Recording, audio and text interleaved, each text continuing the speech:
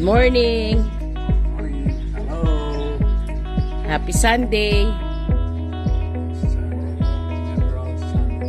Love you both.